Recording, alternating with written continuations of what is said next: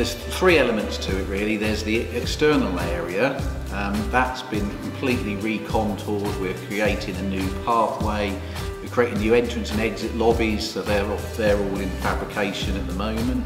Um, we are creating a big new pond area and a lot, saying a lot more recontouring of the ground. And then there's the internal viewing area, which is where we're stood at the moment. So again, this is this is being completely renovated. We're creating new planters, so they're going to be creating a more naturalistic um, exhibit.